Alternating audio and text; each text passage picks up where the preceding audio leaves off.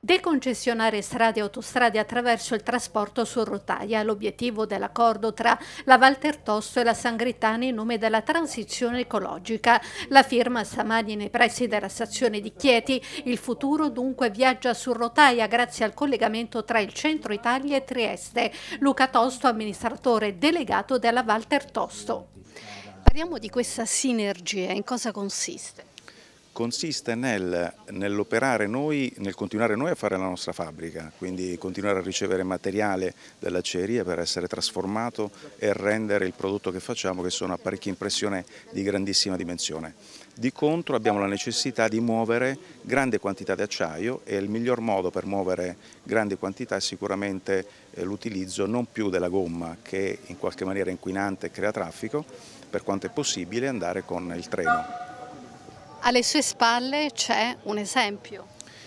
Sì, questa è una bellissima locomotiva con dietro agganciato una, un qualcosa che all'apparenza eh, sembra roba arrugginita, ma in qualche maniera sono lamiere di prima scelta che arrivano dai primari fornitori eh, europei di acciaio che poi vengono da noi trasformati e nel momento in quando saranno trasformati non saranno più eh, trasportabili con ferrovia, in parte, in parte sì, e abbiamo anche l'interesse di fare dei semilavorati e ritrasportarli nuovamente su un altro sito produttivo che è ad Ortona, naturalmente questa seconda la tipologia di, delle commesse che, che abbiamo. Viaggia sulla stessa onda, è il caso di dire anche Alberto Amoroso, CEO della Sangritana.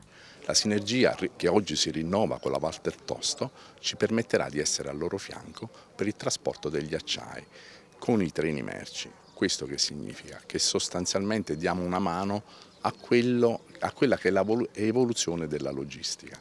L'Italia a livello europeo ha preso degli impegni importanti con la comunità europea di far crescere il proprio trasportato su merci al 30% entro il 2030 del trasportato globale delle merci in Italia.